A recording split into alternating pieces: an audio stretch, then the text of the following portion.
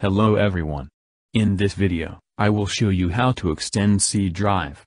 Taking available space from other drives. This video will help you when your C drive is almost full. And signals red. At the same time you have enough space in other partitions. If your system drive is almost full, it will affect your computer's performance. And you won't be able to install any additional application.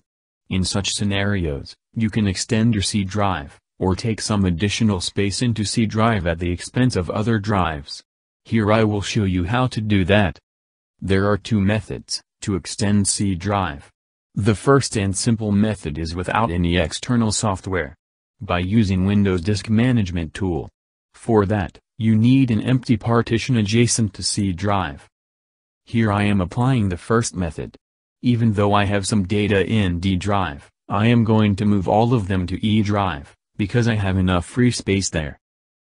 Now I am moving all my files and documents from D drive to E drive.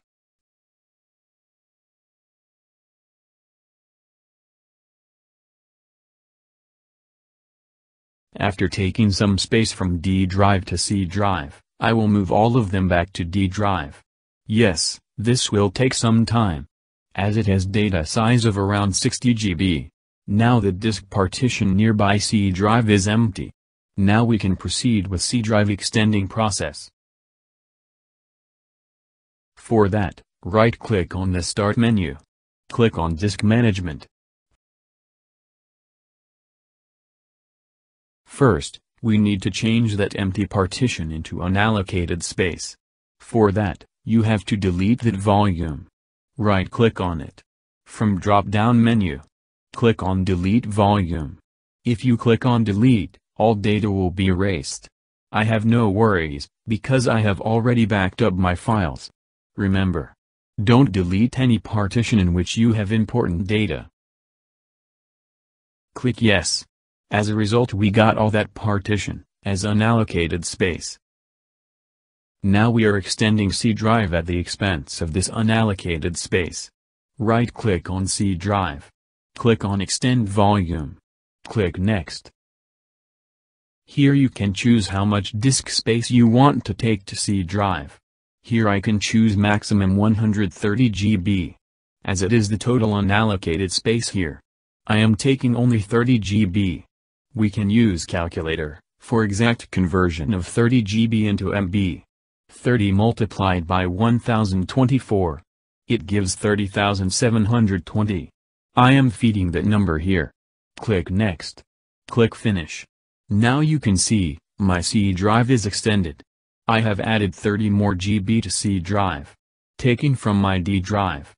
Now we have to change the unallocated space back into simple volume. In order to make use of it. Right-click on it. Click on New Simple Volume. Keep clicking Next. Until you finish.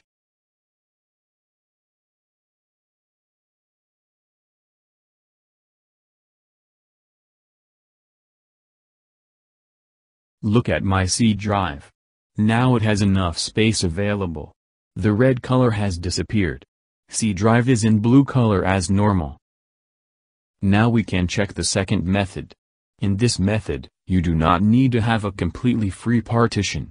This is executed by external softwares. These softwares can take free space from any partition and add to C drive. Here I am using AOMEI Partition Assistant. You can simply download it.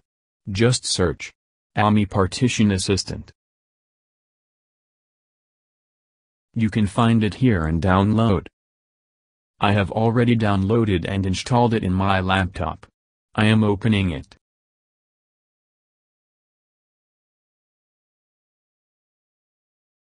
Here I want to extend C drive. Then right-click on C drive here. Click on Resize, Move Partition. Here tick the box indicating assign free space.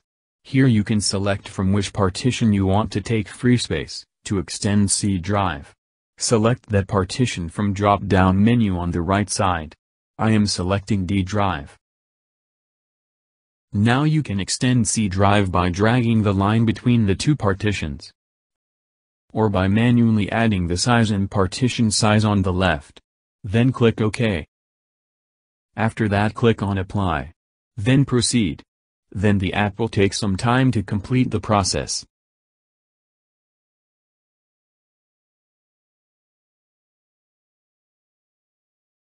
Now it is completed.